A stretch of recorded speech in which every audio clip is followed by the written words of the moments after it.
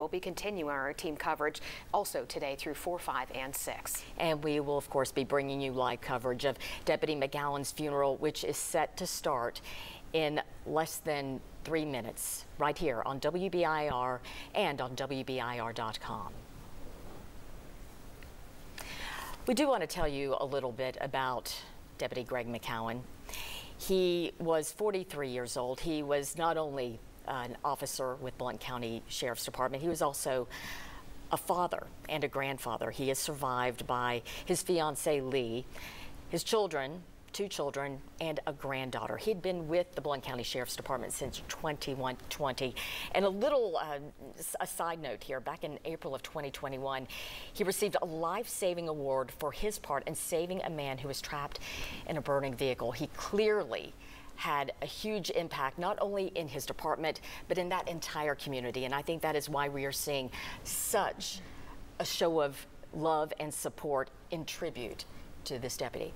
And of course, that tribute is going to play out during the funeral, which we'll be carrying live here just moments from now. We do want to let you know that the governor is set to appear at the funeral as well, and the sheriff is set to speak at the funeral. There will be songs and friends also speaking during that service. And this is a look at what folks who are at the church right now are seeing as part of his funeral. Again, just pictures, and you can hear a little music in the background as well. We may want to just listen in and see some of the pictures to get a better idea of who Deputy McCowan was.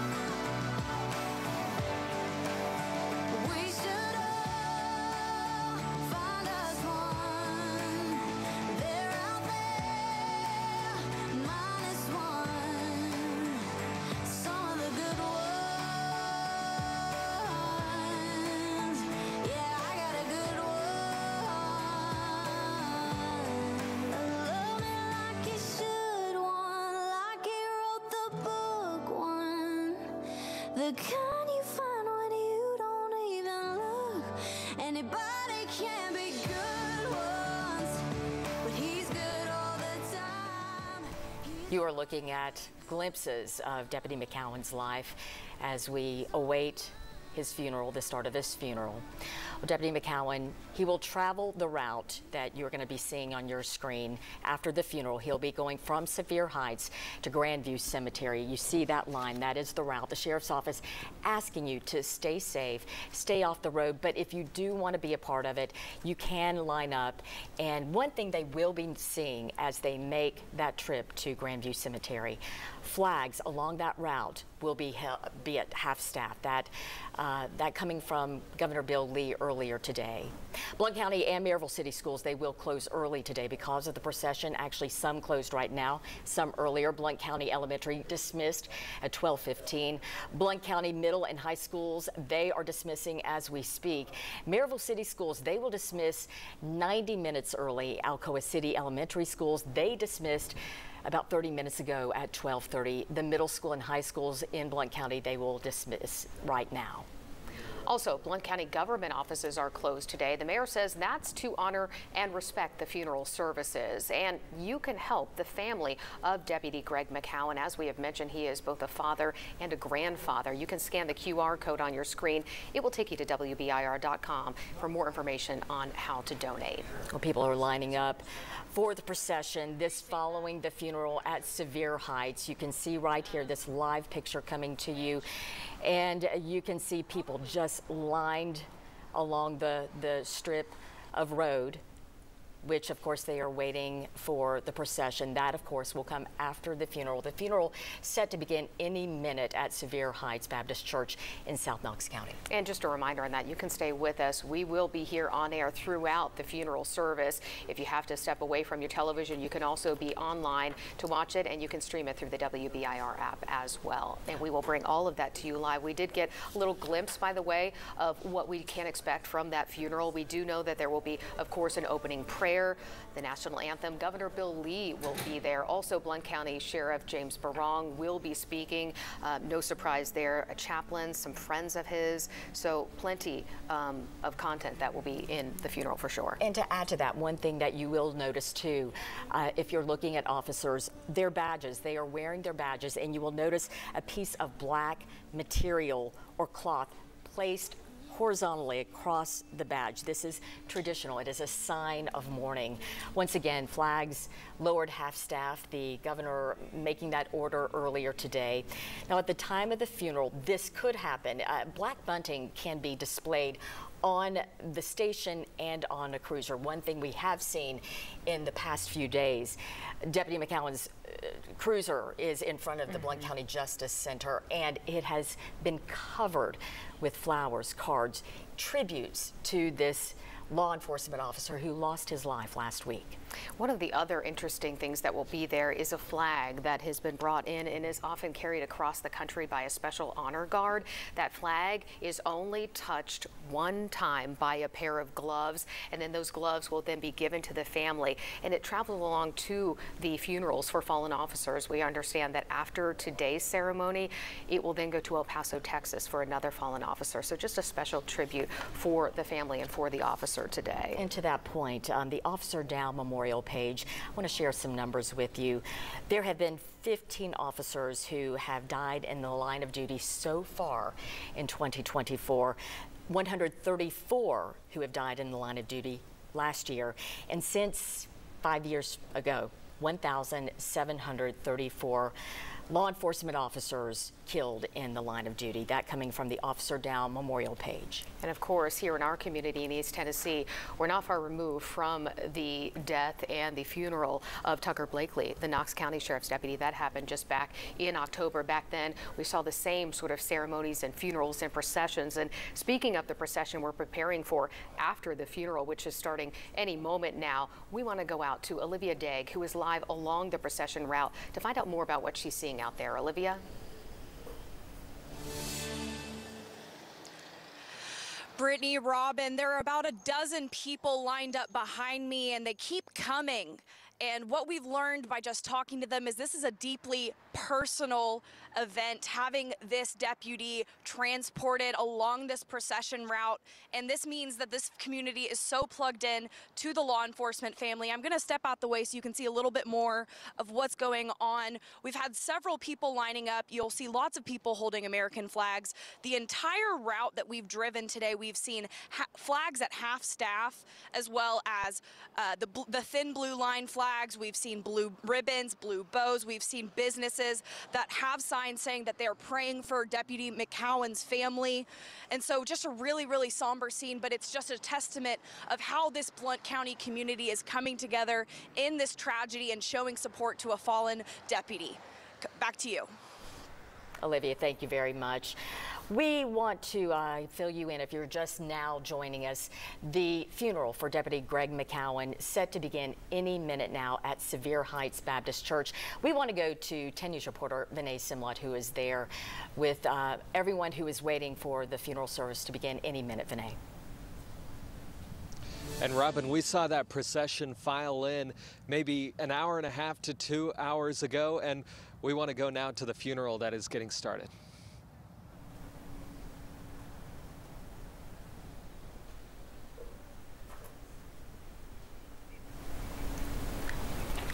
As, as you can see now, that funeral is set to begin. So we want to take you there and we'll listen in now.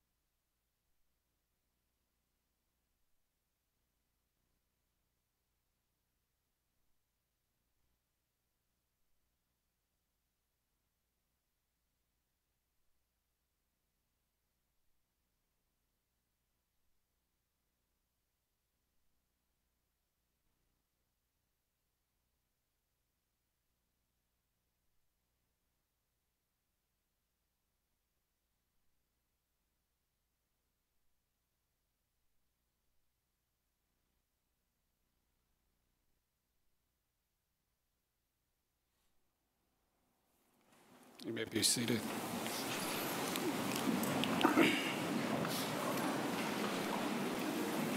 Good afternoon. I'm Jeff French, the Chief Deputy with the Blount County Sheriff's Office. On behalf of Greg's family and the Blount County Sheriff's Office, I'd like to welcome you and thank you for being here. We're here today to honor Deputy McCowan's duty and sacrifice and to celebrate a life well lived. At this time, I would like to ask you to stand again and would like to invite Blount County Sheriff's Office Chaplain Brad Bryant to come and lead us in an opening prayer. And after the prayer, I would ask that you remain standing for the national anthem to be performed by Deputy Shelby Eggers. Please stand.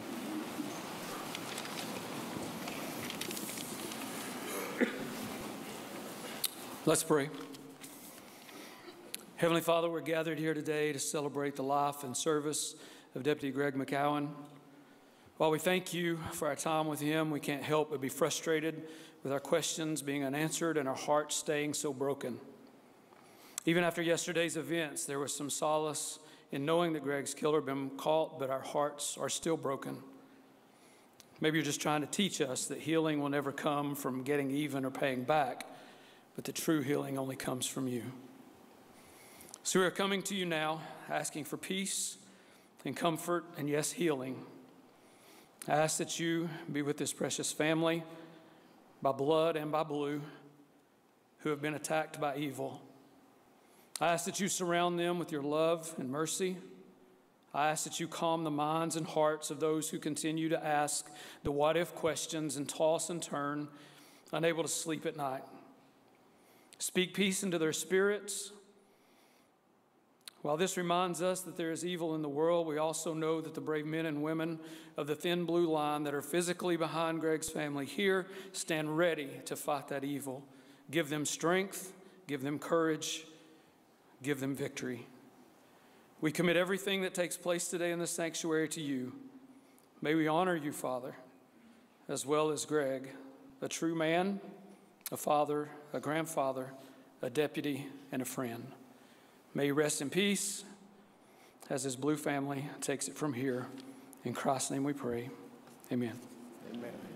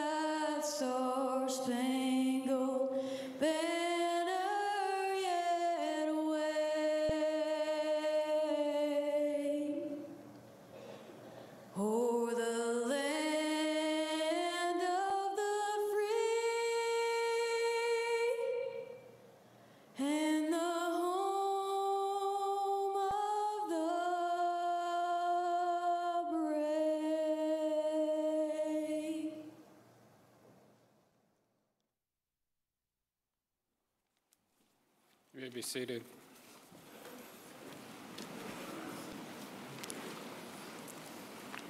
At- At this time, it's my honor to introduce our governor of the great state of Tennessee, Bill Lee.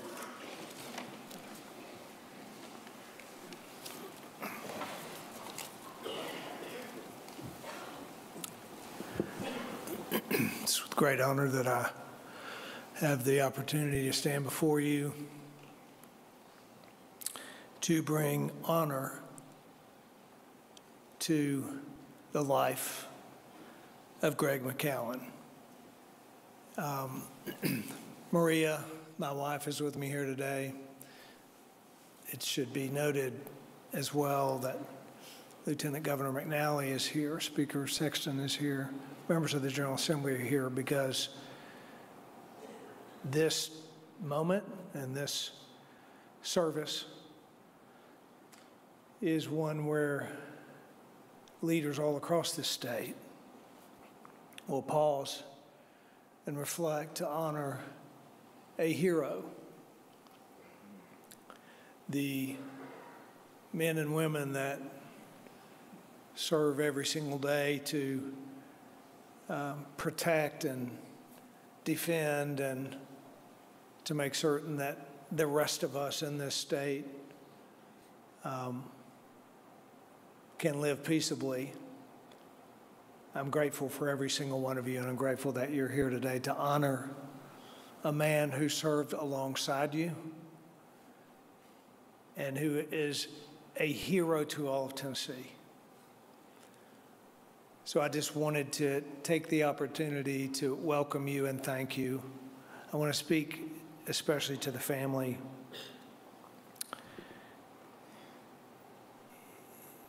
Greg McCowan is a hero. He is one of those who have chosen to put their life in harm's way to serve the people of this state. And you are the ones who suffer the most today because of that decision. We are the beneficiaries of the heroism of your father and of your loved one and of your son. He is a hero and a law enforcement official and a leader to all of us in Tennessee, but to you, he is a dad, he is a son, he is a loved one. And for you, this goes way beyond just being a hero. My prayer for you is that the Lord's nearness be a sweet thread in the bitter fabric of these days that you that are your lives right now. My other prayer is that this that you I hope that you will have a moment to take in the magnitude of the honor that is being bestowed upon this man who served all of us. It is our hope that this, in some small way, this honor, some small way, will be a part of the healing process for you so that you will one day realize just what he means to all of us, not just to you. Thank you for the incredible honor that I have to honor him today.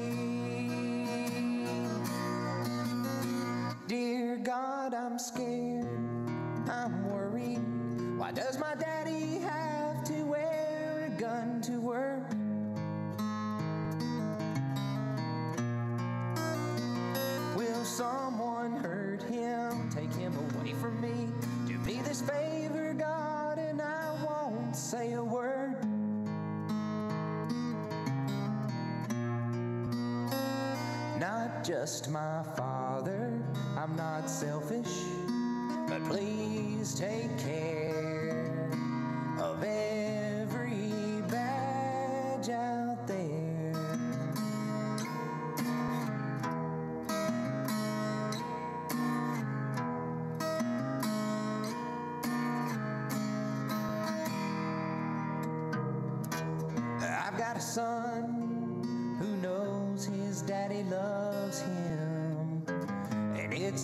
surprise to anyone.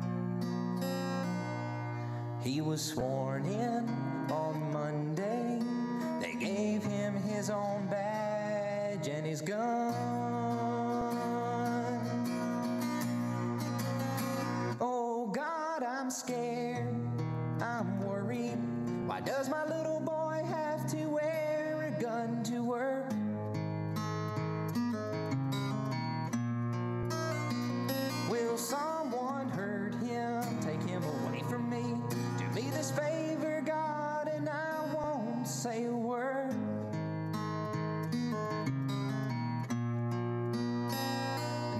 just my little boy, I'm not selfish, but please take care of every badge out there.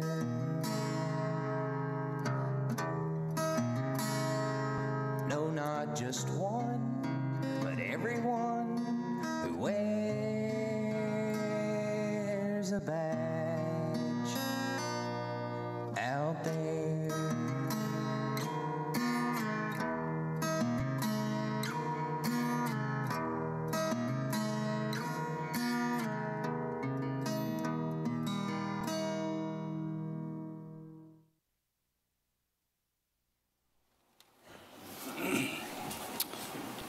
Next, I'd like to introduce uh, a friend- a friend of Greg's, Billy Radford.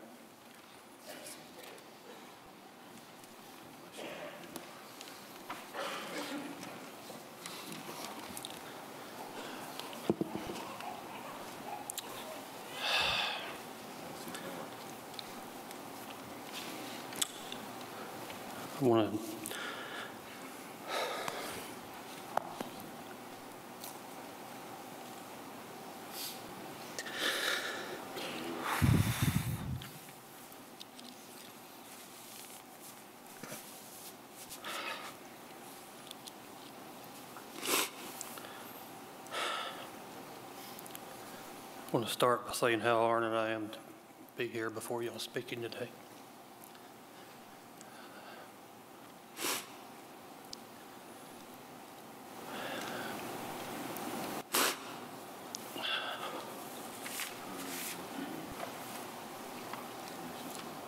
Y'all know him as little, y'all know him as Greg McCowan.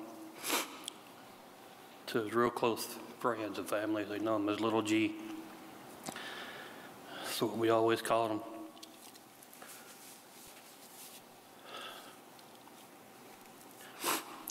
Though he may not be blood, but he was my brother and family.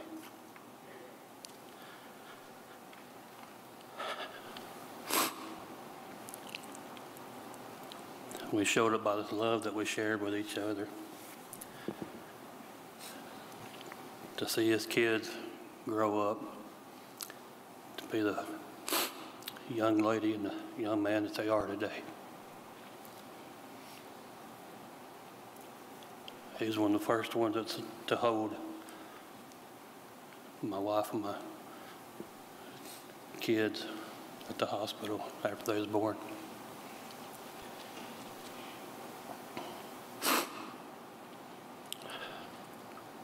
We met almost 20 years ago at work. We all worked at a boat company. Became friends there, then realized we had a lot in common.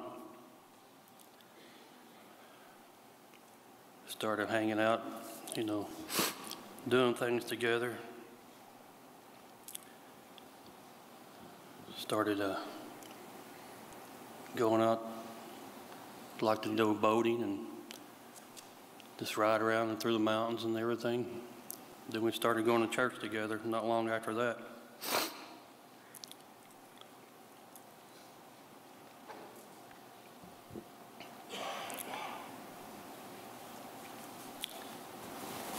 I know Greg was really uh, ready to meet Jesus because when he got saved, we was there. Got to spend a lot of good time, good memories with him at church and outside of church as well.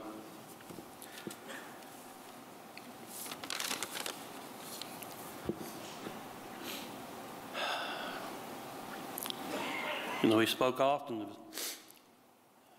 wanting to be a police officer for years as we worked at, at Mastercraft. When he finally started on that journey, we all knew that he would be one of the best officers possible. He loved people, always had a smile on his smile or a joke or a funny story to tell. Never met a stranger. And you knew that wherever you went with him that you would find someone to talk to.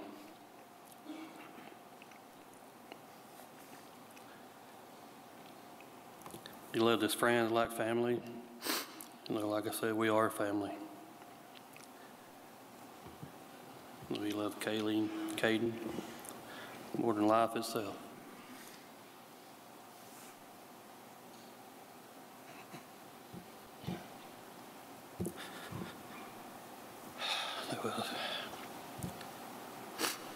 Then baby Ella was a blessing on top of that.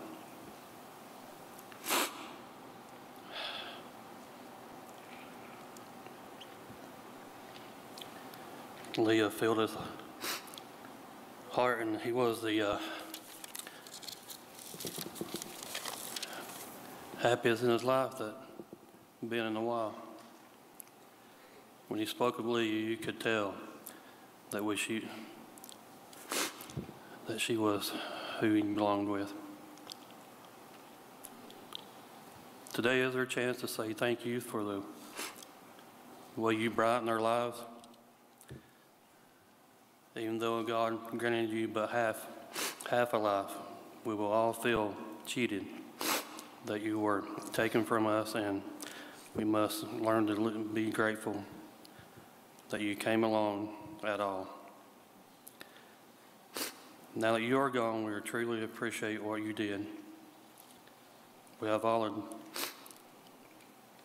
despaired at our loss over the past few days and only the strength of your friendship has helped us to move forward to today.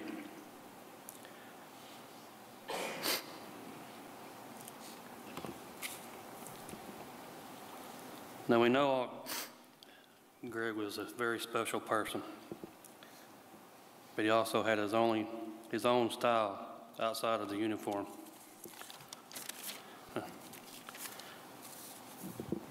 We called it the little G starter kit.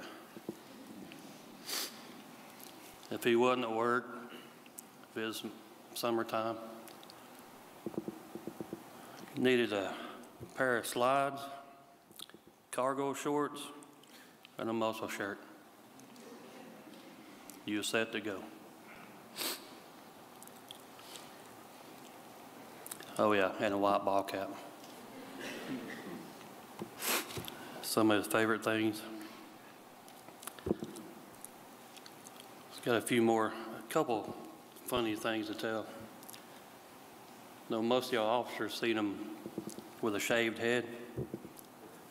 Before that, he had hair, well, a little bit of hair. He tried to keep it growing long, you know, to hide it. So me and my wife, we was on the way home from work one day. We passed him down 411. I asked my wife, I said, he's in a Jeep and top was off and everything. I said, did you see that? And she said, no, what is it? So I slowed down. He caught back up with me. And what Harry had grown, it was sticking up like this. so whenever he, we slowed down, and he, I looked at him, he knew what we was looking at. He gave me that mean look, went and held his hair down. So I wouldn't laugh at him anymore.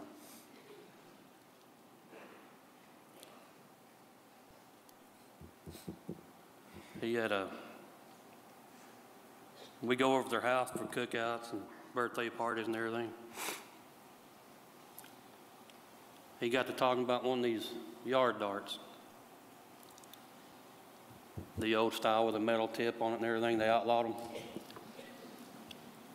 He wanted a set. Well, he found a set on somewhere and he got them. So was, so we played yard darts for a long time. Where we go over, we get to play yard darts with them or whatever we can do.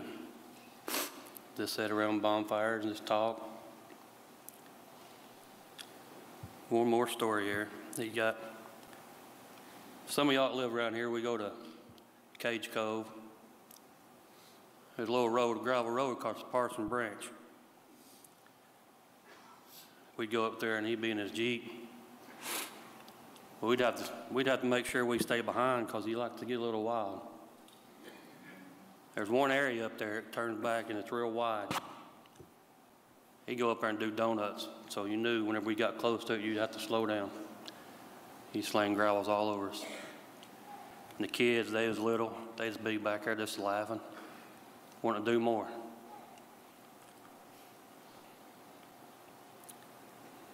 I'd like to say he's truly a friend.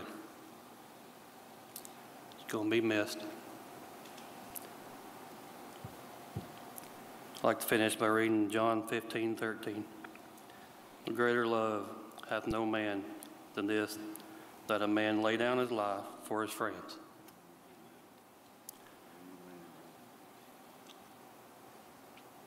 And that's what he did for us. Thank you.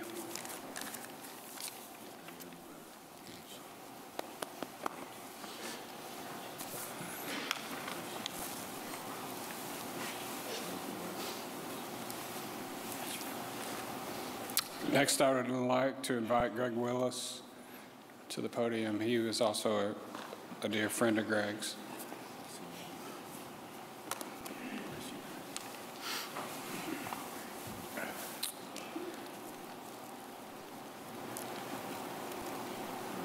This is a day I never thought would come. For some reason, I always thought I'd go first. I, like Billy, met little Greg at Mastercraft building boats. We always had a lot of fun, that little Greg. He's real jumpy. We'd gouge him every chance that we got. So it wasn't surprising if you got a, a lip saw thrown at you, a cutout. Sometimes he, He'd even flip your tools over in the floor just because you messed with him.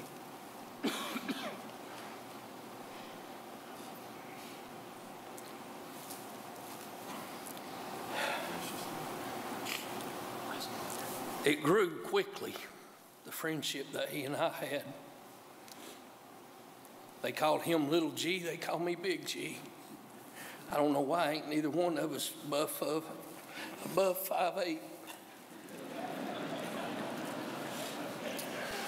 I might have been just a little heavier than he was.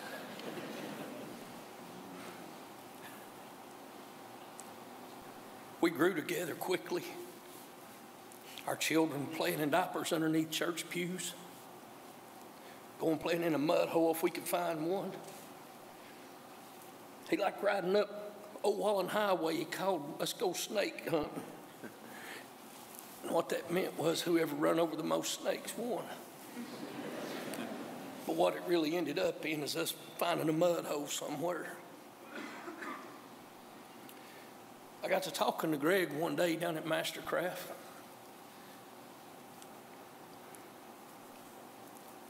I pleaded with him to come with me go to church with me.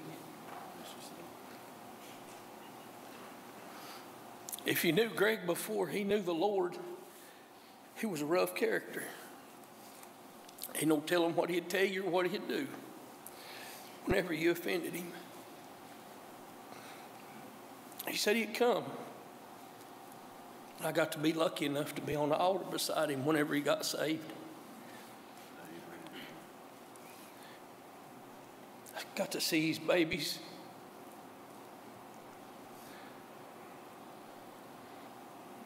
Ask the Lord to save them.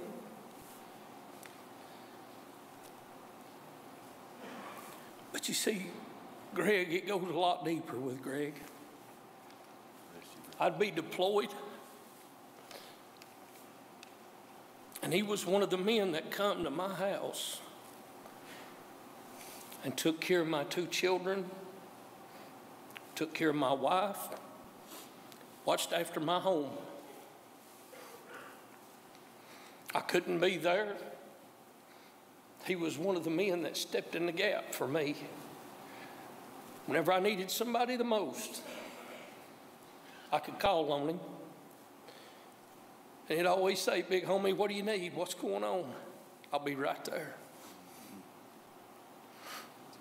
Little does he know he's still right there because it'll never leave me. It went far deeper than a, than a brotherhood. It went far deeper than a friendship.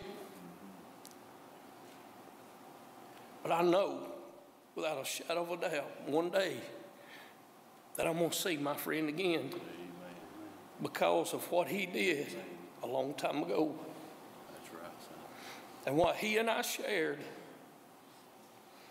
that can never be broken, that can never depart, because it comes from someone greater than me, someone greater than him. And that's why we shared the love for each other that we had. Vacations, church services, revivals, just sitting on my porch and just talk. Out in the garage, working on things, and him always accusing me of, I don't know why you're doing that, you're just going to change it anyway. he was my wiring technician because I'm horrible at wiring. A lot of precious memories we shared. I'm going to miss him. But I don't find it shocking that he done what he done for his fellow officer. Because the truth of it is, he'd do it for anybody in this room. If you were in harm's way, he would stand in harm's way for you, even before he come a police officer. That was just Greg. He loved to laugh, he loved to have fun.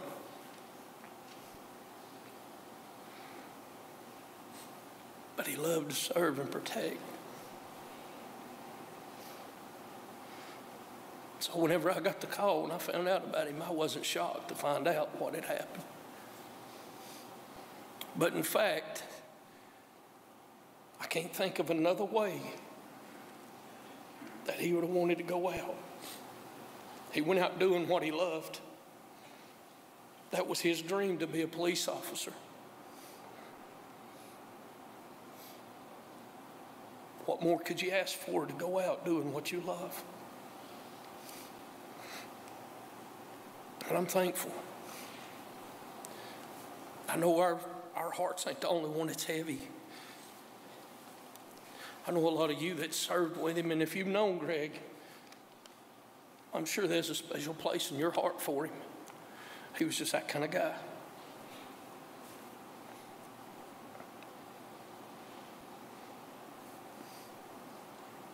It'll get easier. How, I don't know. Because I can't rely on me. There's a hole in my heart that I truly feel will never be filled. And I lost a friend beyond all friends. But one day, one day, I'll see my friend again. Thank you.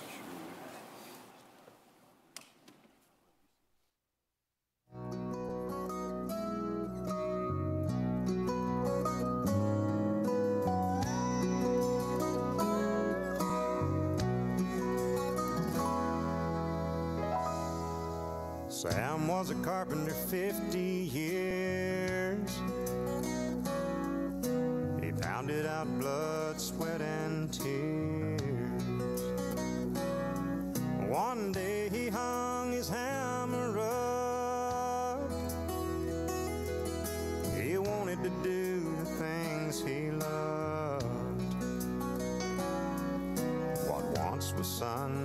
Fishing now is seven days a week. He told his wife to find me, I'll be down at the creek. Cause I don't wanna drive another nail. I've worked hard to do my job and I did it well. I've got the scars on these two hands that show I haven't failed.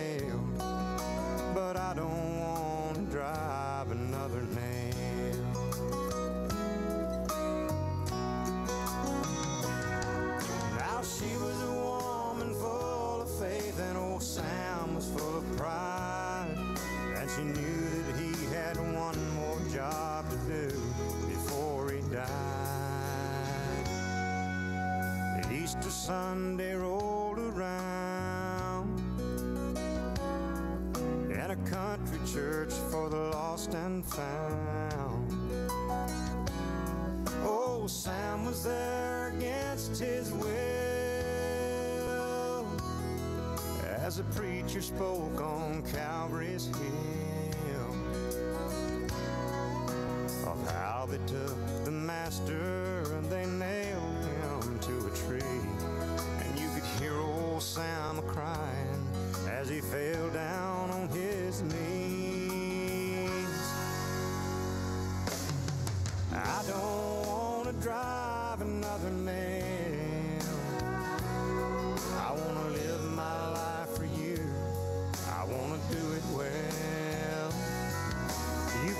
the scars on your two hands that show where I have failed.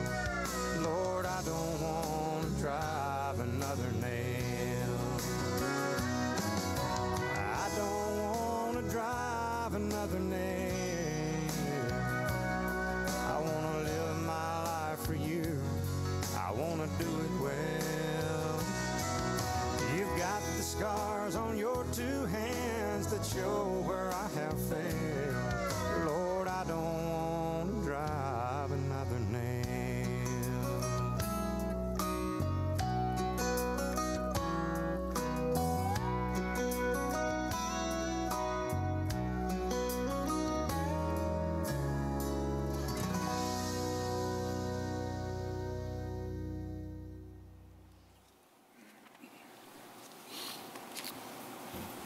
Next, I would like to introduce uh, Blount County Chaplain Roger Murphy.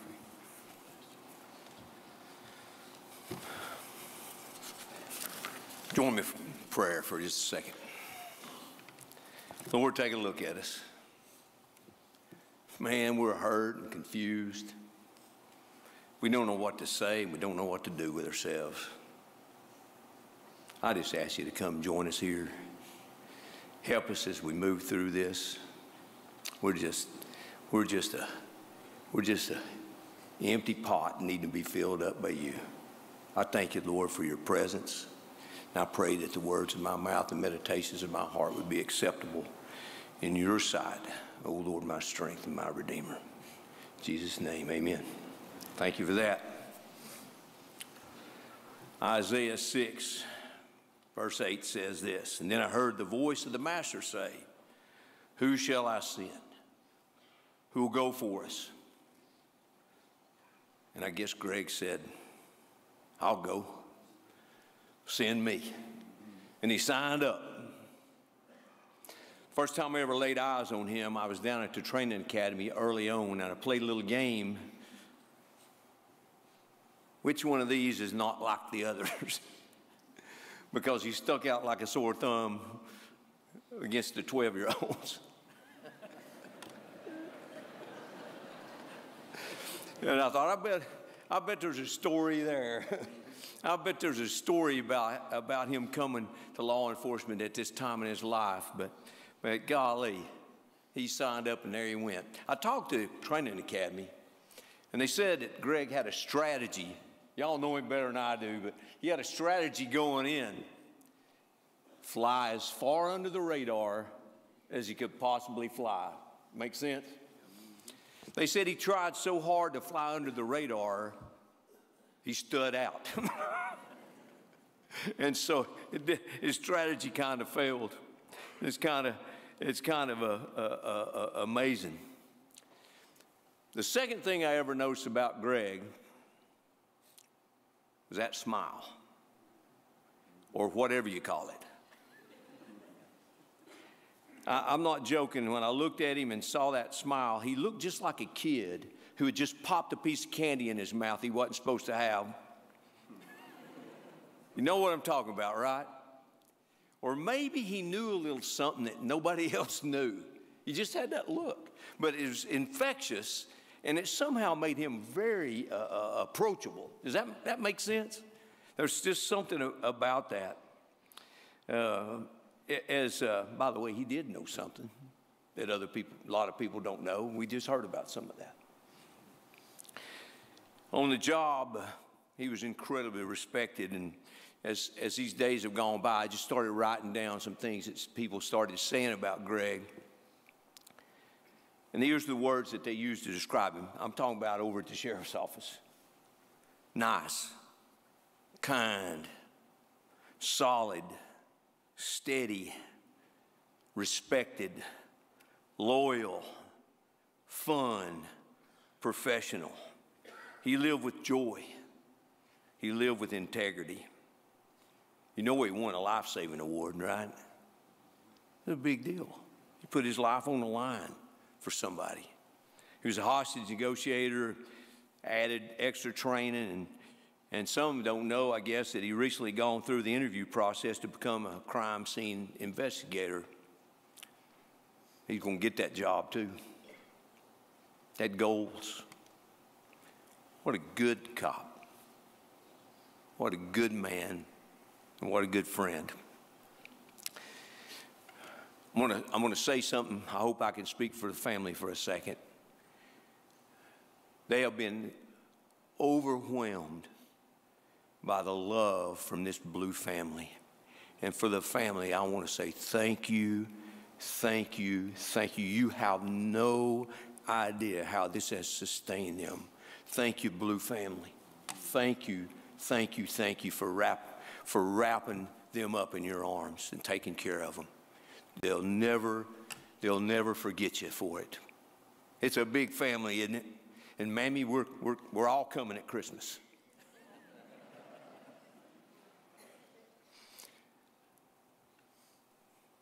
Let me say something to the family just you guys. Everybody else can listen for a second. I already told you this, but they need to hear it. When a when a man loses his wife, he's a widower.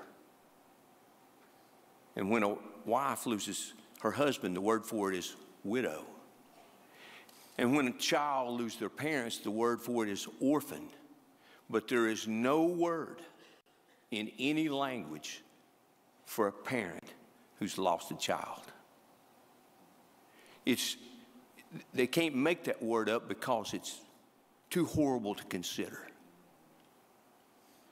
And so, so for, your, for your intense loss, we, we don't understand, but we love you and, and hurt with you. It, it, it, it's, it's, it's almost uh, unspeakable. Oh man, did he love his mama. He took her on ride alongs. Who does that? Had one come, you had one coming up, didn't you? You know why he did it. He wanted his mama to be proud of him.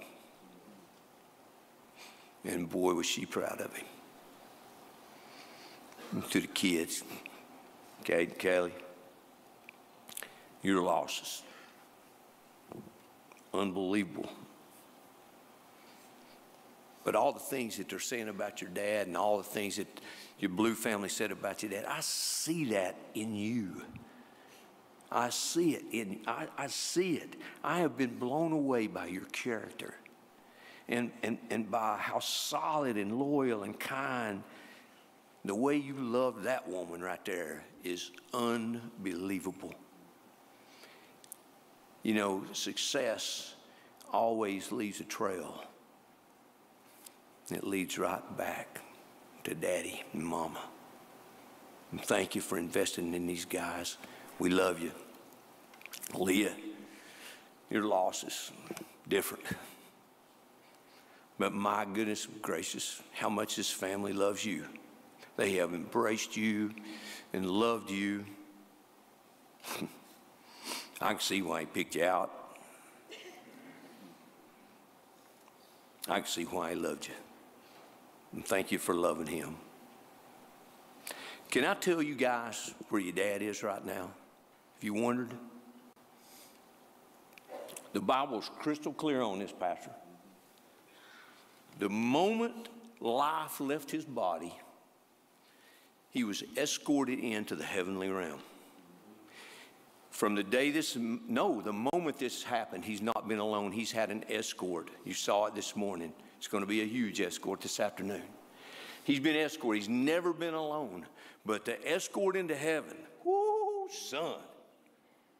You know who's up the front of the line? And all your family that knew Jesus are standing there.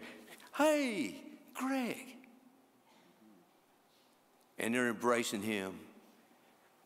But I also see all that line of fallen officers who understand. And they're cheering him in. And there's Jesus. And I know Greg wants to say something to him, but he, he can't because Jesus is smothering him with love and his attention. He's home, baby. He's home. He's home. That moment that, I, that he got there, his body was glorified. I cannot wait for that because mine's getting kind of wore out. You know what I'm saying? His body was glorified. His body is vibrant. It's young. It's whole. It's perfectly designed for what's next, and that's called eternity. In the words of my dispatcher sitting over here, they would say, 344 year status. And he would say code four. He's good. He's good.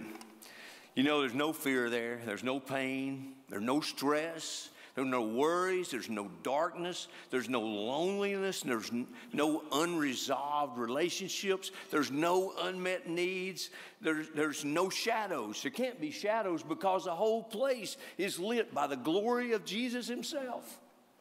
There were no shadow for that. We would not bring Him back from that if we could. And I'll be honest with you, He wouldn't come because he's home. Oh, we're going to miss him. Now, how do I know this? Because the Bible is crystal clear about this. And the testimony of what started down there in the grinding booth at Mastercraft and ended up on the altar of your church makes it crystal clear. For those who know Jesus, there is no death, it's just a transfer of addresses. He's just going to go somewhere else. Hey, hey, death. Now who's scared of you? What happened to your stinger now? There's not one. I hope you can get some comfort from that. He's, he's good. Now, I want to say something to the Blue family. Y'all can listen.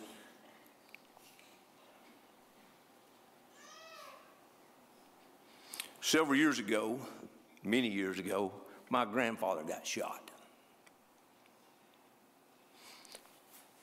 He had a 17 year old son, my dad. And through that event, something happened. The seeds of hate and anger and fear, along with guilt and shame, were planted inside my dad from that event. And those things came together to become a grinding wheel. And it ground and ground and ground and ground away chunks of his life. Some people in here, they know what that's like. It, chunk, it ground away on relationships, ground away part of his fatherhood.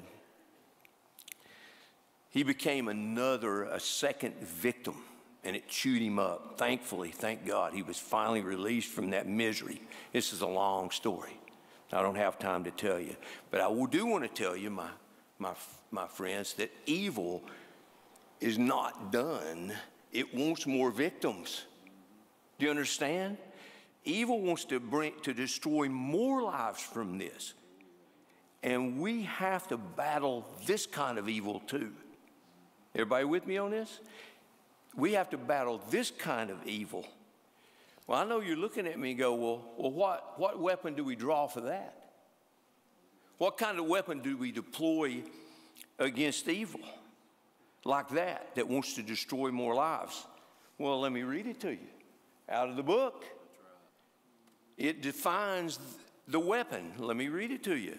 Romans chapter 12, verse 21. Don't let evil conquer you. You conquer evil by, anybody know the rest of that? Doing good.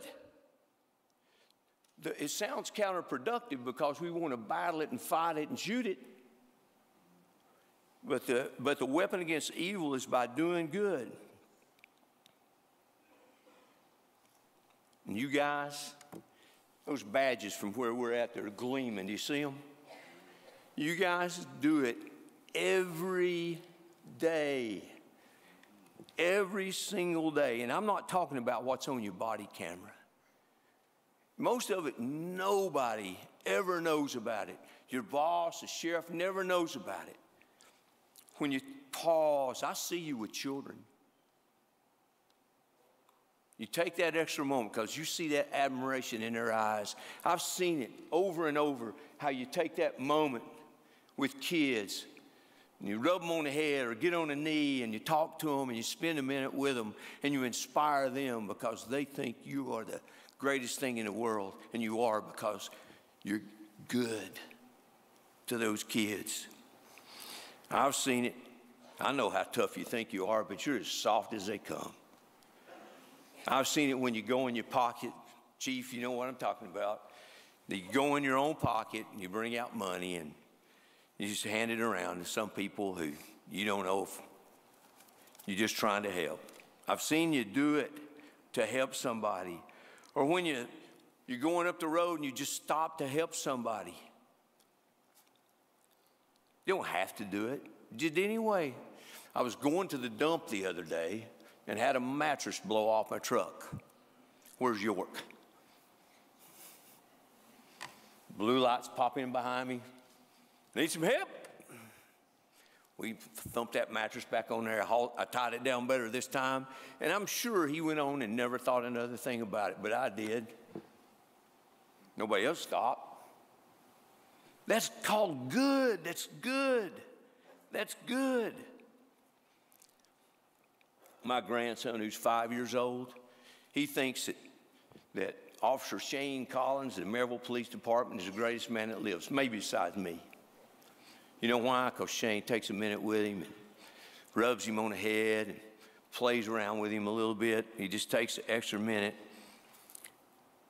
That's good. Or when Chase brought the Bearcat to my grandson's birthday party. Bet you didn't know about that one, Sheriff.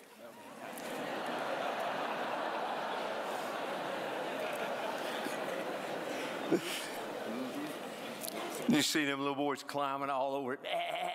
It was unbelievable. Didn't have to do that. It took extra time to do that.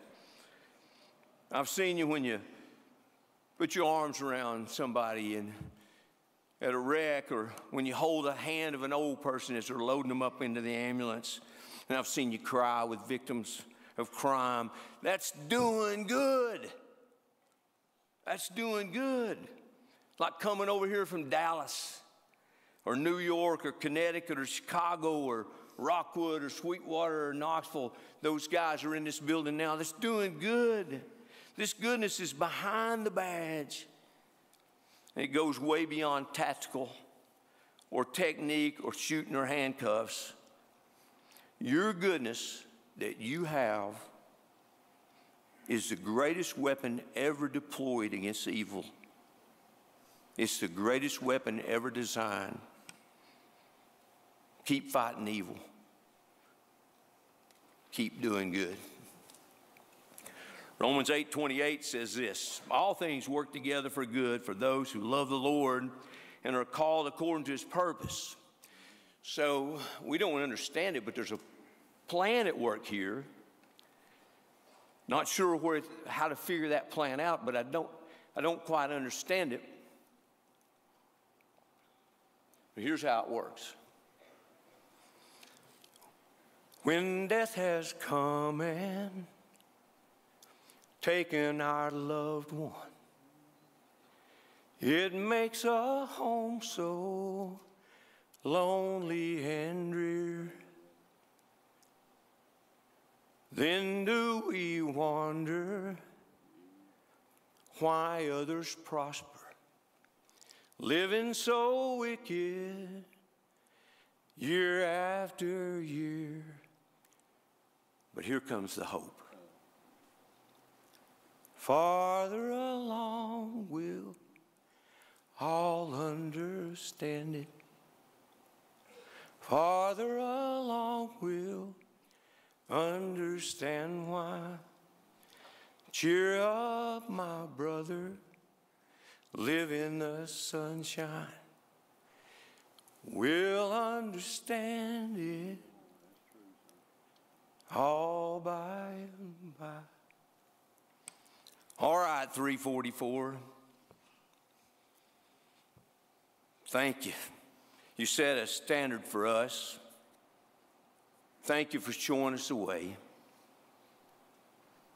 Things will change because of you. I guarantee you that. And, brother, we'll see you on the other side. It's better on the other side. In the name of the Father, the Son, and the Holy Spirit. Amen.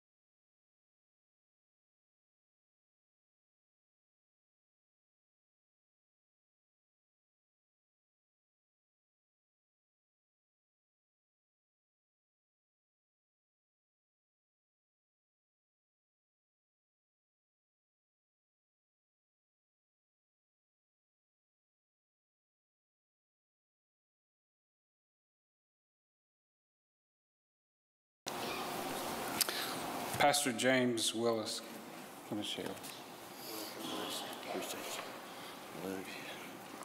Amen. I tell you what, uh, I mean, I know hearts is breaking. Amen. I can, uh, our heart is. We got the pleasure of meeting Greg, and it's already been said. Uh, amen. We got to meet him down at the church house. Amen. At Knob Road. Uh, he got ordained as a deacon the same time I got ordained as a preacher, and uh, came to fell in love with him, and he loved him, loved his family. We used to have uh, Christmas together, uh, Thanksgiving. Uh, mean, Just a joy to be around him. Amen. If you knew him, amen, you loved him. And uh, but I tell you what, uh, I told the family here the other night, there Saturday night over at their house. I, I told them, I said, uh, if you plan on being with Greg again, you need to be saved. You need to be born again. Because I tell you what, uh, what Greg done down there at Knob Road Missionary Baptist Church that uh, Sunday, whenever he went down to an altar, uh, called upon the Lord Jesus Christ, amen, asked him to come into his heart. I tell you what, it changed uh, his destination, amen. Just a few minutes on the altar of God, I tell you what, that's what it's all about, uh, amen. Changing, amen, our destination from hell uh, into glory land, amen. And I can't do that on my own, amen. It takes the blood of Jesus Christ, amen. He came to bleed and to die, amen, to go to Calvary's cross. That's why our Savior came here. He come for one reason, amen. He didn't come uh, uh, for two or three different reasons. He come uh, uh for one thing, amen, to do the will of the Father, amen, to come and uh, to pay the blood atonement, amen, for all mankind, uh, that we don't have to die lost, amen, and go to a devil's hell, amen. But I tell you what, what He done on Calvary 2,000 some years ago, He made a way, brother, amen, for a whosoever that we could be saved, amen, be born again and know uh, uh, beyond a shadow of a doubt whenever this thing uh, called life is over down here uh, uh, that we've got a better place, amen. Uh, some call it heaven, but I tell you what, amen, if you've been saved by God's grace, amen, and the blood has been applied to your heart, amen, you get to call it home, amen. And I'm glad today, amen, that I, amen, I'm born again, amen, a child of the living King, amen, child of God today, and amen, I get to call, amen, heaven my home, and amen, I'm going to get, uh, brother, to see him again, son. Amen. I know you will. Amen. You saved, ain't you? Amen. That's what it's all about. Amen. It's knowing that whenever this time comes, amen, and it's going to come, it's going to come to each and every individual. Amen. In the house today. Amen. There's only two, brother, amen, that I've ever known of that escaped death. Amen. Uh, one was Elijah and the other was Enoch. Amen. Everybody else, amen, had to go uh, by the way of the grave. Amen. Uh, well, we're going to go that way. Amen unless the Lord splits those eastern skies, amen, it comes and gets us, amen, the born again believer, amen. That's what it's all about, brother, amen. It ain't about nothing else, amen. It's about, amen, getting ready uh, for this hour right here, amen, because we're going to face it one day. And who's to say, amen, I won't face it whenever I walk out them doors, amen. Uh, but if it comes to me, brother, amen, I'm ready, amen, to go. That's where the hope's at, amen. It's not in this world, it's not in the bank account, it's not what you live in, it's not what you drive, amen, but it's the blood, amen, of the Lord Jesus Christ being applied to your heart and soul, amen. That's where we've got hope at today.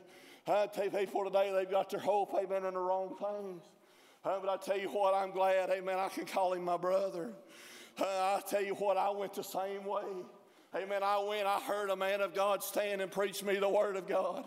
Amen. And he told me, he said, Amen. I heard it like this. Amen. God getting lost. Amen. Uh, whenever you get lost, amen. And whenever God holds you over hell, I bet he don't drop you. Amen. And uh, then you'll know what to do. Amen. You will have to preacher. Amen. To stand. Amen. And preach too long. Amen. Whenever you get in no shape. Amen. Uh, because you'll fall out wherever you're at. Amen. And come down to an altar of God. Amen. And call upon him amen, the only uh, one that's able uh, to save a soul from hell, amen, and that's Jesus Christ, amen.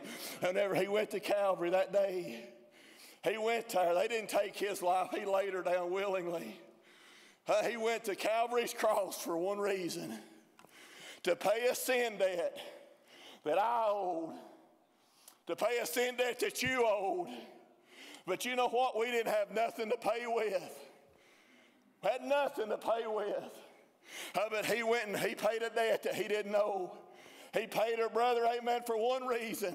Uh, because back over in the beginning, amen, what Adam and Eve done over in the garden of guess over there, amen, in the Garden of Eden, amen, sin came in in this world. And he said, man is born of woman is a few days and full of trouble. Amen. I tell you what, you can look around at our world today and you can see the trouble, amen, that we're in all over this world and country today. Amen. They're calling evil good and good evil, brother. I tell you what, that's why it pays today.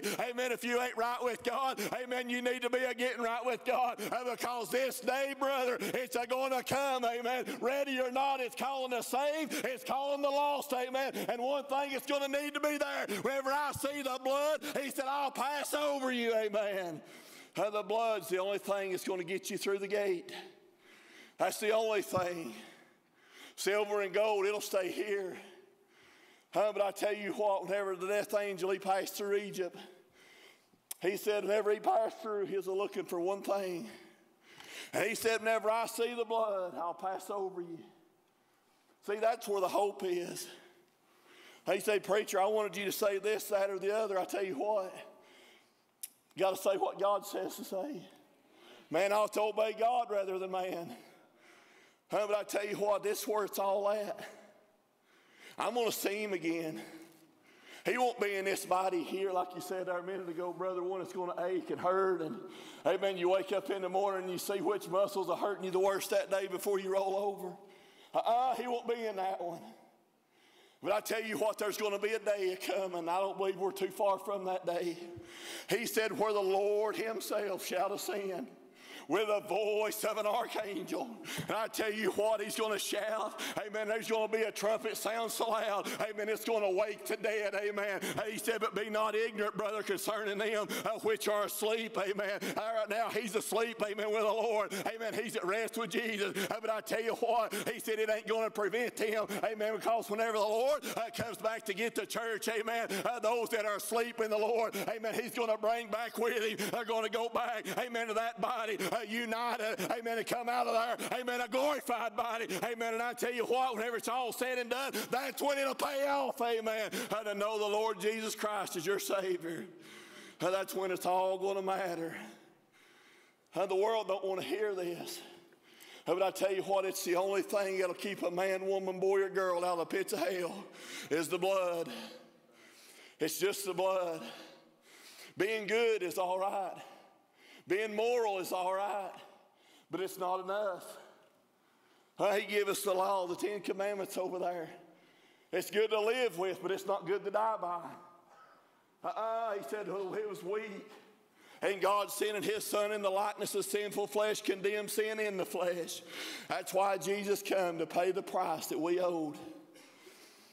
But I tell you what, whenever he went to Calvary, Amen. I tell you, I'm going to read this right here over in John chapter 2, verse 19. And he said, Jesus answered and said unto them, Destroy this temple, and in three days I'll raise it up. They looked at him, they misunderstood everything that our Savior said that day. They was looking at the temple. It took them 46 years to build it over there. And they said, how in the world is he going to build it? Uh, tear it down in three days and raise it right back up. He wasn't talking about that, that what man made. That wasn't what he was talking about at all. He was talking about a day whenever he was going to go, amen, and suffer like no man's ever suffered before. Ever licked it the devil could throw, I throw at him, brother. He took it. They took that cat of nine tails and they whipped him, ripped the flesh right off the Son of God. Amen. They plucked his beard out, they spit upon his face, they done all these things. Amen. But the only thing that our Savior was guilty of was loving a sinner that we don't have to die and go to hell because of. The only thing he is guilty of. But I tell you what, whenever he went there, he laid her down. He carried his cross up Golgotha's hill that day. And he lay, it got so heavy, he fell under the load of it. And I tell you what, amen, I tell you what, sin's heavy. And I tell you, we'll fall under the load of it. But our Savior went all the way to Calvary that day. And he laid his life down. And they put a nail in this hand. They put one in this hand. They put one down there at his feet, and he hung between the heavens and the earth, amen, until he died. And he was as dead as any man has ever died before. Our Savior died on Calvary that day. But I've got good news. You want to know where some hope is? Amen. Right here's where our hope is. Amen. He didn't stay dead, and glory to God, he ain't going to stay gone neither. He's a coming back, amen, to get us and take us home to glory, amen. Only the one that's got the blood applied is going to make the trip, though. Huh? He went for one reason. John over there, he said he wept. Whenever he looked under the heavens and he looked under the earth, and they couldn't find one that was able to go and loose the seals of this book. They told him, he said, John, weep not. He said, I found one. Lord, that makes you want to shout. Huh, there's one that was able to go and loose the seals of this book right here that we could have the everlasting gospel preached to us, that we could be born again and know beyond a shadow of a doubt. See, I don't hope I'm saved. I don't think I'm saved. I don't have to go ask my wife if I'm saved. My mom and my dad, they love me dearly, but I tell you what, they couldn't save me. They couldn't do nothing for me but as far as the salvation part of it. But I tell you what, I got introduced one Sunday morning at Knob Road Missionary Baptist Church. Brother Jerry Little, he stood and preached the Word of God to me like I'm preaching here today. And little did I know, sitting two thirds in the back of the congregation, only reason I went to church that Sunday morning because there's a boy that I coached football asked me to go. Little did I know, though, that Sunday morning God had a different plan for me. He came looking for me. I didn't go looking for Jesus that Sunday morning. But I tell you what, he come looking for me that Sunday morning. And I tell you what, if anybody, I tell you what, whenever the Lord goes looking for somebody, he'll find you. And he found me in a shape, amen, where everybody needs to be before they get saved. He found me lost and on my way to hell. Uh, but I've got good news for you today. My destination's changed. Amen. I tell you, I ain't going to hell. I couldn't go to hell if I wanted to. Amen. And I don't want to. Amen. Because I've heard, amen, about the streets of gold. Amen. Walls of jasper, uh, gates of pearl. Amen. I've seen, amen. I've read in the Word of God, amen, about God's throne. Amen. There's a rainbow, amen, above it. Amen. And what I've read about, amen, he said, eyes not seen, uh, neither is ear heard, uh, neither has it entered into the hearts of men the things that God has prepared uh, for his children. Amen. So I'm glad today I'm saved. I'm glad I'm going to get to see him again. I know we hurt, and I know you're going to miss him. I know you loved him. I know he loved Jones. But boys, I tell you what, this ain't the end. Preacher I come up under, he said this right here. He said, Death is just a doorway. If you're saved, you've been born again, and you know that your name's recorded in the Lamb's Book of Life, if you know that, that's where it's all going to matter. That's where it's all going to pay off at, friend. I know our hearts are going to miss him. Caden, son, I know yins are going to miss him, Caden. Leah, mom, I know yins are going to miss him. There'll be days out in front you'll just wish you could pick up a phone and call him. Talk to him just to hear his voice again. But I tell you what, there's a better day yet to come. And the only way you're going to get there, friend, I'm telling you, is through the blood. You won't make the trip no other way. We love you, and Jesus loves you. He loves you so much that he laid his life down willingly. He said, For God so loved the world that he gave his only begotten Son. He gave him freely, knowing that what man was going to do to him. He said it'd be handed over in the hands of sinful men. That's what we are. We're just old sinners. Saved by the grace of God, that's all I am. I ain't no different, no better than anybody. There ain't nobody, there ain't no big eyes, little U's in here. Brother said at one time, all heads is level at the foot of the cross. Huh, we're all the same in God's eyes. And the one thing he's going to look for whenever it comes to this time right here, I'm sure Greg, that day, whenever he went to work, I'm sure he wasn't looking for saying, well, today's the day God's going to call me home. He wasn't looking for that. I don't know when God's going to call me home either. It could be whenever I walk out these doors back here, it could be saying, All right, son, it's your time to go. But I'm ready for it. I'm ready. If the call comes today, Job said he'll call and I'll answer. His call come here the other night. Jesus called him home. Son, I'm going to see him again. We'll meet him again. There'll be a reunion one day take place. And we'll be in a land where we'll never say goodbye again. There won't be no dying there. There won't be no crying. He said, For God Himself will wipe all tears from our eyes. Down here, we cry because we have sorrow, we have pain, we have these things. But there's going to be a day of coming where Jesus is going to wipe all tears from our eyes. And there will be no more crying. There ain't a tombstone one in glory land because there's no dying going to be there. He said, Old things are passed away. Behold, all things become new. So the best is yet to come if you're saved. If you're not saved, though, make plans to be ready. He said today's the day of salvation. Tomorrow's not promised. We don't know if tomorrow will come or not. Who in here right now, under sound of my voice, could say, i am going to see you tomorrow with 100% assurity? Is anybody, can anybody do that? Not a one of us can. But I can take you by the hand. Brother, you don't know me at all. Probably never even seen me before, have you? But I can take you by the hand right here this today. And I can affirmly assure you that I'll be in glory one day whenever my life down here is over. Amen. I can firmly assure you that I'll be with Jesus whenever it's over here. And right on down the line, I can take you by the hand and tell you, I'll be with Jesus Never told here. Huh? Can you take that one beside you right now? And can you shake their hand and you firmly tell them, I'll be with you, Lord? Huh? Can you do that? Huh? I can go right on down the line, Roger. You say, Preacher, this is a funeral. No, this is a celebration of life that our brother lived. But I can celebrate the life that he lived because I know one day after a while I'm going to meet up with him again. But I can go right on down the line and I can tell you I'm going to be with Jesus. Not of works, he said, Billy, lest any man should boast. But it is the free gift of God. Uh, it's a free gift. And for that gift, it's offered. And it's offered for whosoever.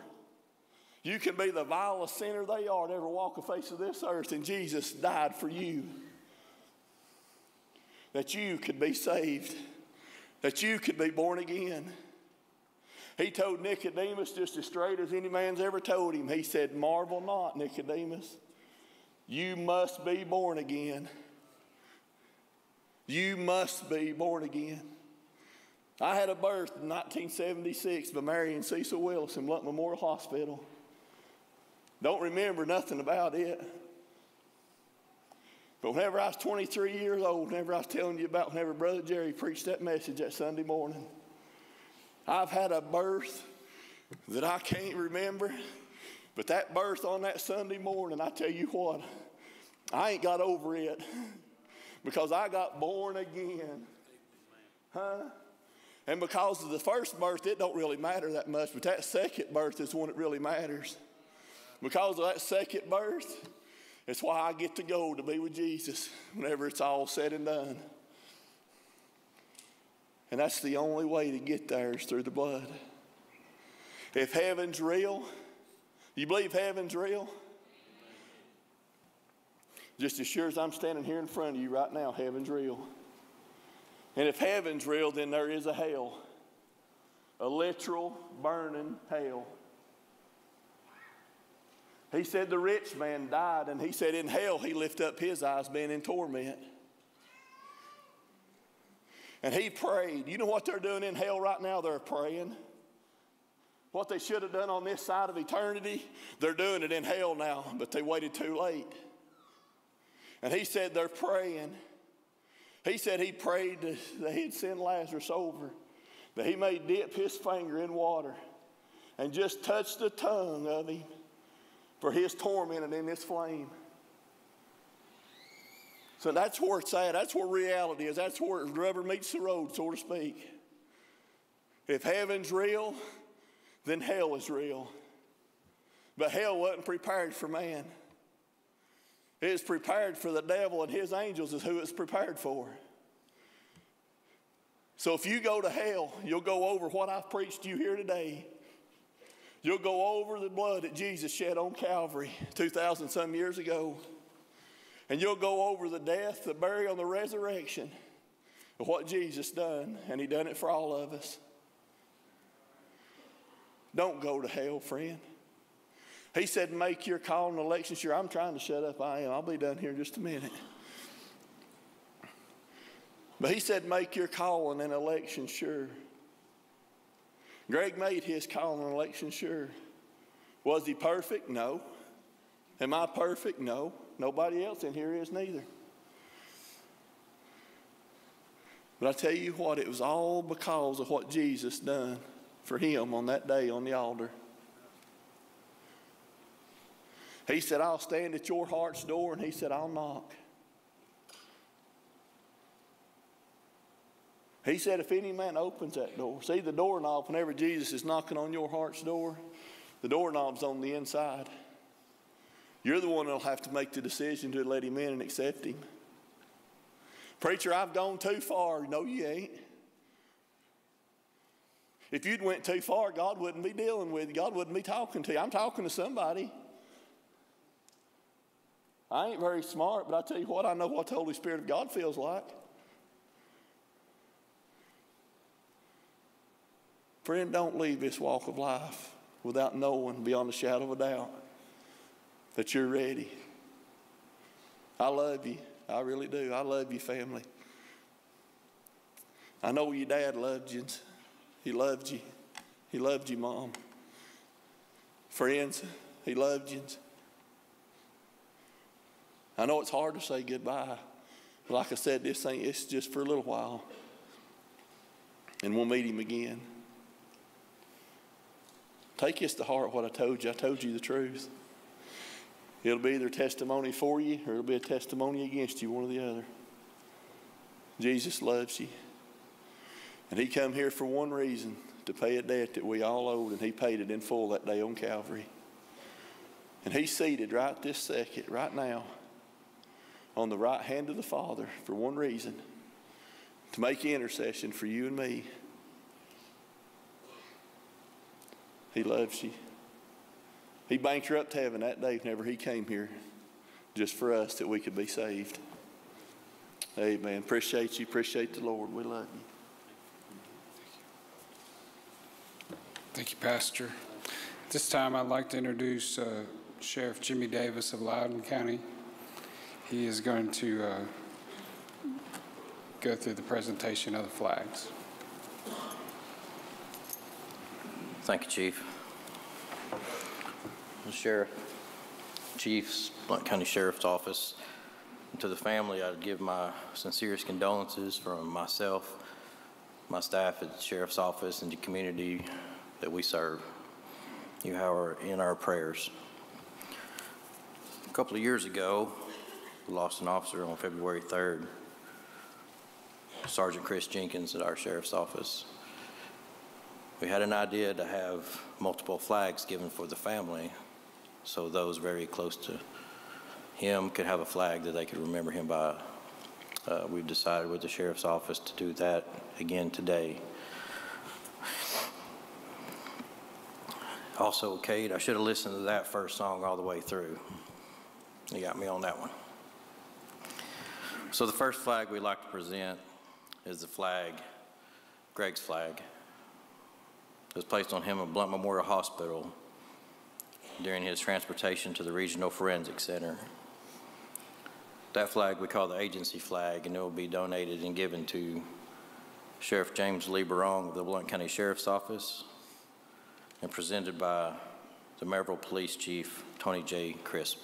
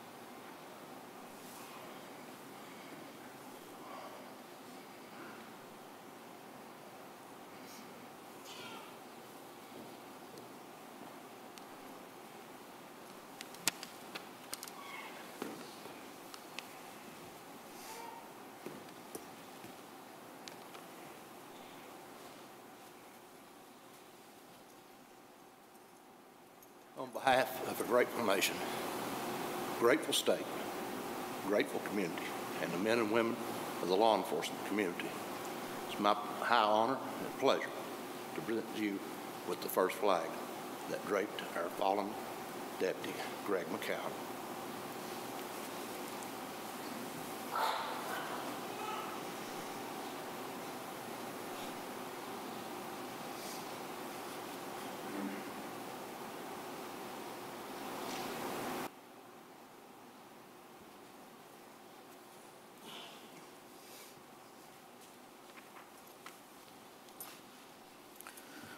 Secondly, flag number two is Greg's flag that traveled with him from the Regional Forensic Center to Smith Funeral Home. That would be presented to his mother, or Mammy, Elizabeth Talby, presented by Blount County Sheriff's Office Second Shift Lieutenant James Wilson.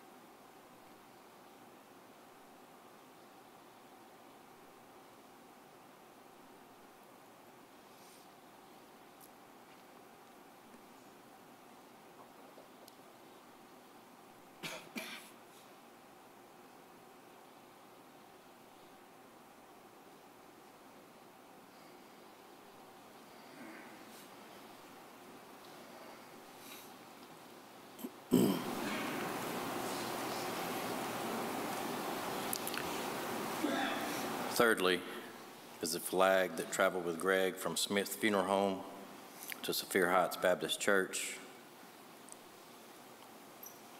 The recipient is Greg's fiancee, Leah, presented by Blount County Sheriff's Office Second Shift Sergeant Chris Carter.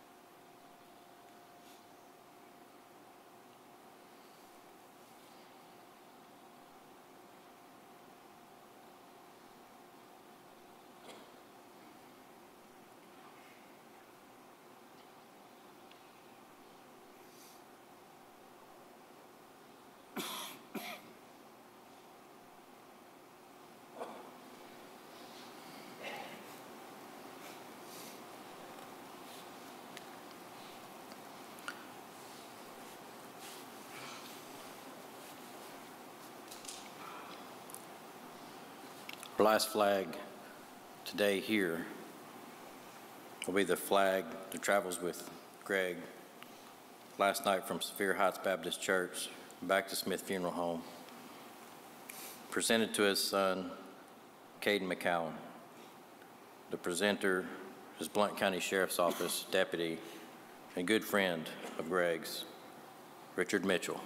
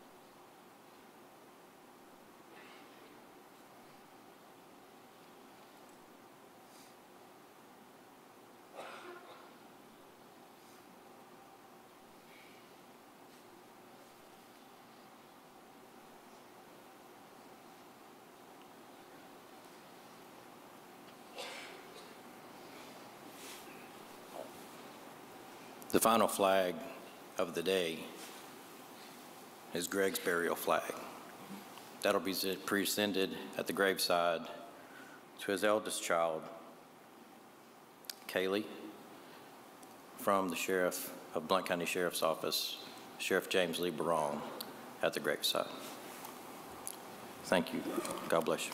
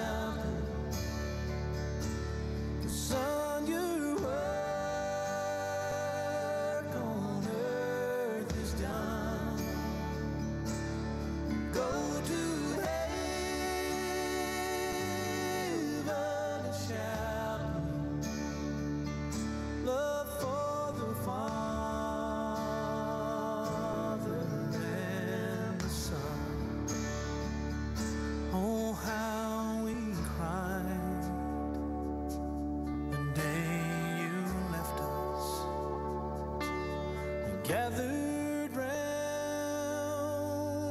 your grave to grieve. Wish I could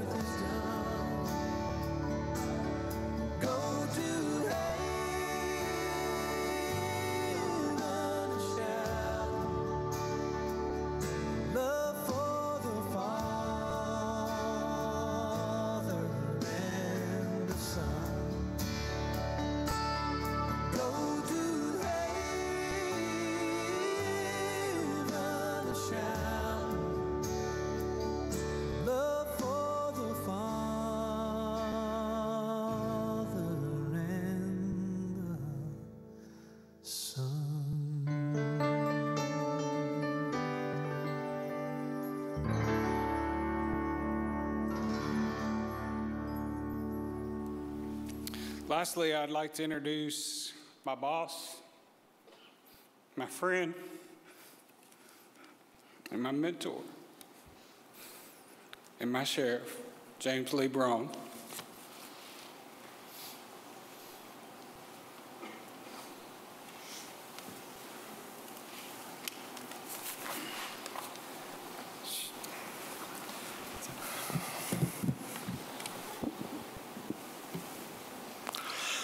A few things prepared.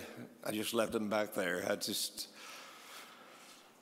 there's not the words that can come out of my mouth or the actions that I do up here that will ease the burden on the family. Tonight I was notified that I was in Murfreesboro, Tennessee. Fortunately, we had a state agency that helped get myself and Chief French and others back. I'm still in a shock, still in a void. And the more I see the family, the more I cry. Can't imagine. I really, really can't.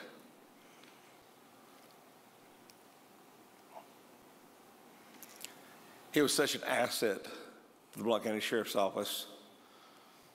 He was an asset, to East Tennessee, our community. You know, get someone that would come in at 39 or whatever. He came in, I think 2020 started a year before that. He was reserve. He took a pay cut, a substantial pay cut, because he had a passion. He wanted to serve the community. He wanted to make a difference. And there's no doubt in my mind that he did. The stories we're here to win a, a life-saving award shows his commitment and dedication and sacrifice he was willing to make to help someone else. He did it the other night. He's faced with a tragic set of circumstances that he could not control at the end. He wasn't alone out there that night. We had a deputy in the audience that was with him. You hadn't heard a lot about her. You've heard me talk a little bit. But she acted, her training kicked in, her professionalism kicked in, and her courage kicked in. She did whatever she could do. She did as much as she could do to get to him to render aid. She was concerned. She was shot in the leg, putting a tourniquet on herself. But you hear, she wanted to get to him. That's love. That's commitment. That's courage. And I know she's bleeding. I know she's. I don't know how to have the words. Deputy Eggers, I don't mean to put you on the spot. Would you stand up?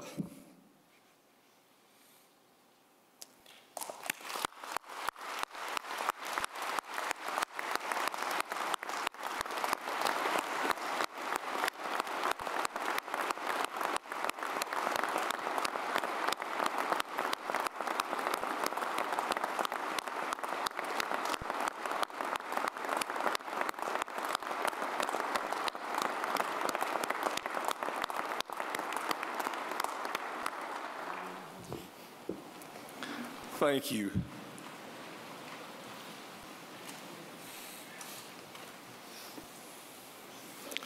Know, I've got to tell me, you know, what to do most times. And I'm the sheriff. They still tell me what to do, and I guess I need it. They think I do, and I greatly appreciate it. So I'm going to go off just a second, just for a couple minutes. Uh, ship two is so close. They're, they're close and they bond. And, and he, I've noticed that more in the last few days than I, I really realized. Sergeant Carter, would you just say just a couple of minutes, please, sir? If, if, that's not putting you on the spot, would you mind to come up here? I want to turn it over. I, I, he deserves better than me, and you can do the job a lot better. Because we love Greg.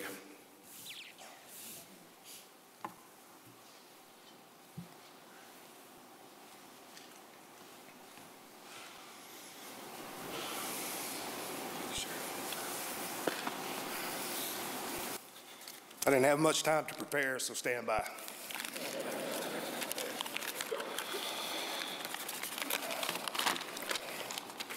So when I found out that I was going to speak, my stomach dropped. And the reason for that is I'm not known to be very eloquent. As a matter of fact, I'm a man of few words, unlike my lieutenant.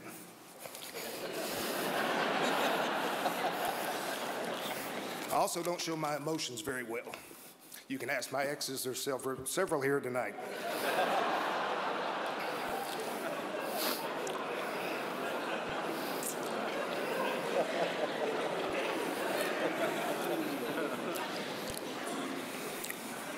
But even though I don't express my emotions very well, I can tell you that I am absolutely devastated. As a supervisor, my number one job is to protect my people and give them what they need. That night I failed Greg. I wasn't there when he needed me. But Greg, as always, was there when someone needed him. Whether he was helping you fix your car or watch your back on a call, he was always there.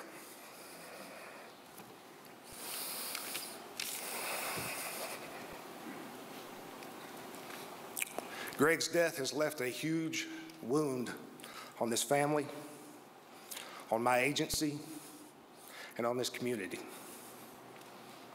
It will never heal.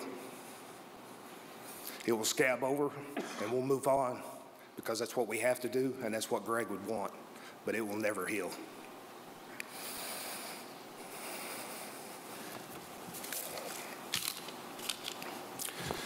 Ma'am, Greg will be greatly missed. But I can promise you, as long as I'm alive, he will never be forgotten. I love you, brother.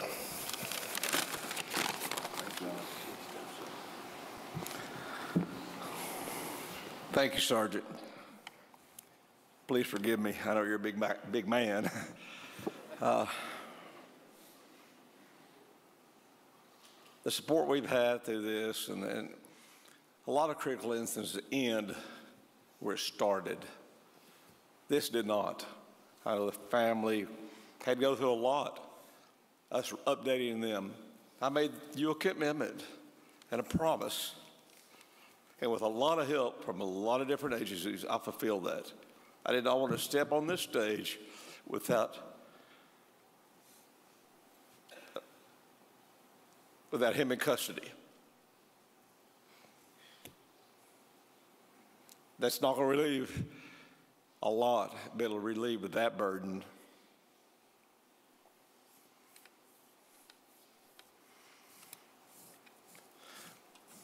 Thank you for sharing him with us. You ought to be so proud, so we are. And you're going to feel like you're alone, but you're not. I'm talking about there's always going to be somebody around you. Second shift, stand up.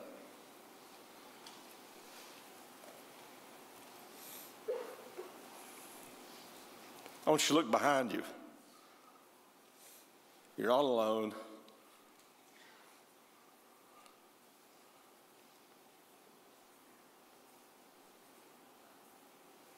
Long County Sheriff's Office employees, stand up.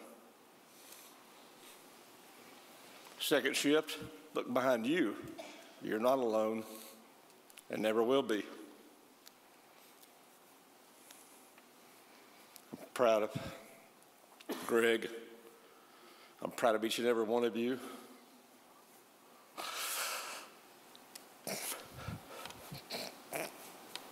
Thank you, family, from the bottom of my heart. I love you.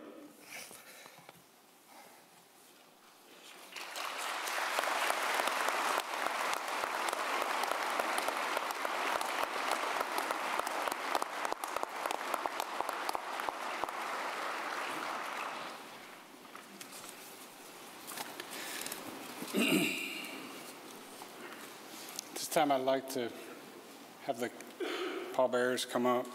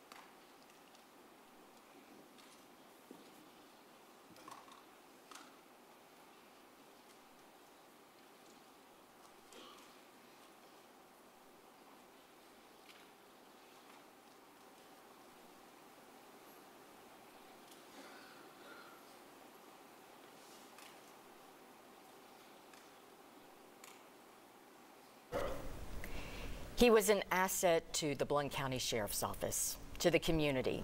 He had a passion. He wanted to make a difference. Those words from Blount County Sheriff James Berrong as he is remembering fallen Blount County Deputy Greg McCowan. We have been watching the funeral for that fallen officer, and we are watching now as people are filing out, filing behind the casket of the deputy. We've spent more than an hour now listening to remembrances from people who knew him very closely, who worked alongside him. Some of the people there who were speaking, Governor Bill Lee is there, also Lieutenant Governor Randy McNally, House Speaker Cameron Sexton, when it comes to lawmakers and legislators in our community, but also his close friends. And one of the most powerful moments we saw, Robin, was Deputy Shelby Eggers was there. They asked her to stand, and there was applause. It was obviously a very rough night for her. As the sheriff pointed out, she did all that she could to try to help her comrade there that night, Deputy McCowan. She herself was shot in the leg and is still recovering, but managed to make it there today. And also early on in the ceremony, an audio recording of her singing the national anthem was played as well. That was exactly. She sang that at the funeral of Knox County Sheriff's Deputy Tucker Blakely late last year. That deputy killed in the line of duty. So many heartfelt stories, mm. so many heartbreaking stories, but yet some humorous stories as well. One in particular shared with us by Billy Radford, one of um, the deputy's good friends. He said, um, Deputy McCowan had his own style when he was not wearing the uniform.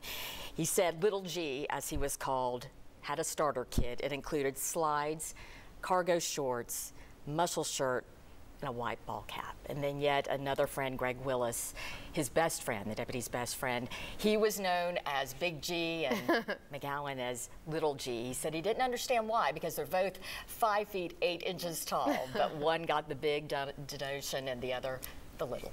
And I think that was so powerful, sort of seeing the man behind the badge, but also at the same time having him be honored for wearing the badge. It was a little later in life for him when he decided to leave Mastercraft. There, that's how he made friends with a lot of the folks who spoke there today, and decided to join the force. He had a dream of being a law enforcement officer. The sheriff pointed out he even took a pay cut to join the sheriff's office there because he just had a passion to serve. And the chaplain added this that he, it was revealed that he had gone through the process to become a crime scene investigator. And what we've heard from people over and over again, this was his passion. This is what he was called to do until his final day, which ended last Thursday, uh, the result of a traffic stop.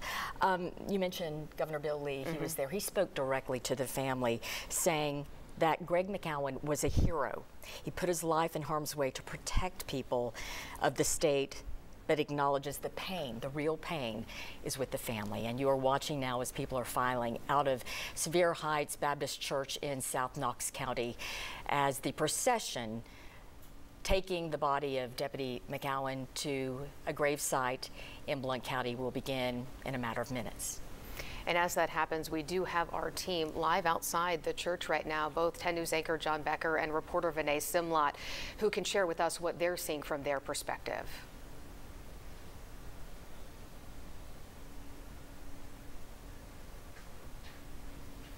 As we And we just saw, as you mentioned, we saw moments of laughter and humor and also moments of real pain. What is happening now is my colleague Vinay Simlot and I are standing in a parking lot. It is a literal sea of blue here. Hundreds of police vehicles and first responders have come to witness this. As we heard during the remarks during the ceremony, we know there are officers here from New York and beyond all the way across East Tennessee and much of this country have come to pay their respects to this fallen deputy in Blount County. I want to bring in my colleague Vinay Simlot because Vinay, from here, this will be a procession back to Blount County that should take about 20 minutes and is about a dozen miles or so. And we were told that um, Deputy McCowan's casket will wait here at the church for a about 30 to 45 minutes as everybody gets situated and as they start heading that way. We also know that they're going to Grandview Cemetery that is in Maryville.